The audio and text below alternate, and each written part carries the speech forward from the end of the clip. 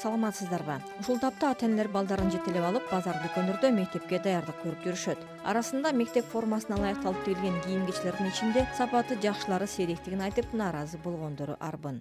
Онун размери калбаган эже? О кандай размери онуку дагы кырк алтыбы ооба кырк төрт калган эми размери жок да. Башка жок. жасы бул сизге кыска болот да кыска до колен кийсем болот боло береби мындайчабы жок жок короткая. Нет, такой не тебе короткая. Бишкектеги кыял базарында баласы менен соода кылып жүргөн барчын аттуу маектешибиз сапаттуу кийим таба албай кыйналганын биз менен бөлүштү. Баламдын формасын былтыр эки жарымга алганбыз. Аябай кымбат деп алганбыз. Бул мектептин өзүнөн алдыңарбы же базардан жок базардан алдык. Форманын ичинде көйнөк одноразовый көйнөк экен. Анан кайра дополнительно өзүм жакшысын алып бердим. Анан шым в общем формасына мен аябай недовольна потому что некачественно сапатсыз материалдан тигилген да ал бир жуугандан кийин эле шта- штапелдей болуп эле кошмар болуп калат экен. Машинкадан чыккандан кийин аны үтүктөш невозможно экен. А бут кийим мен- менин балдарым иши кылып же обувьтун качествосы начарбы же менин балам ушунчалык некачественно кийеби билбейм иши бир сезондо үчтөн обувь кийет. Кызым быйыл онунчу класс окуп атат алар болсо белый верх черный низ деп эле кийишет барчынын уулу менен кызы мектепке барат. Ал балдарынын ар бирине кеминде он миң сомдон чыгаша болгону турганын айтты. Канча акча даярдап атасыз эми мына бир жумадан ашыгыраак убакыт калды. Мен мисалы э, улуу кызымды айтпай эле ошо кичүү баламды эле айтканымда ошо формасы анан эки экиден рубашка экиден обувь кылганда минимум дегенде бир жети миң жети миң даярдап атам. Эгер аябагандай жакшы качествосын алам десем анда менин бир балама эле он миң кетти дагы бир маектешибиз нуриянын үч баласы башталгыч класстарда окушат.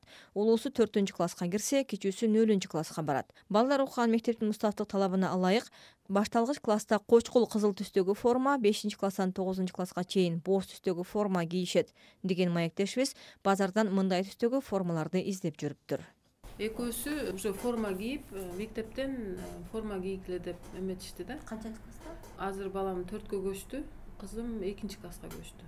Э, баламдыкын эми жыл сайын аларга биз форма алып бергенге шартыбыз жок. Эмки жылы башка өңдөгү форма кийишет да. Мен быйылкы формасын батырып кийгизишим керек да. Же жеңин узартып беришим керек. Мен эки миң эки жарым миң акчаны азыр мага кыйын да. Э, анткени булардын э, төлөгөн жана окууларына да төлөшүбүз керек. Э, кызыма дагы уже кыскарып калды бирок быйыл кийесиң деп атабыз биз ага шартыбыз жок. Үчүнчү балам нолевой класста окуйт ага уже алып беришибиз керек формаларды. Эми мындай үстү ак асты кара болгондо деле ал деле акча да бул маектешибиз ар бир баласы миң сомдо аздык кыларын билдирди ал эми кичинекей небересин жетелеп базар аралап жүргөн нуркан ормонова эки миң сомго соода кылган бир окуучуга азыр мунусу канча экен билбей эжем төрт жүз экен. А жана төрт жүзгө бир юбка алдык алты жүзгө бир сумка алдык.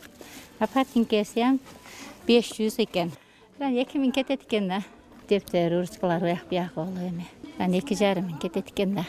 Дагы бир маектешибиз назгүл болсо эки кызына чогуу он миң сомго жакын сарптаганын айтты.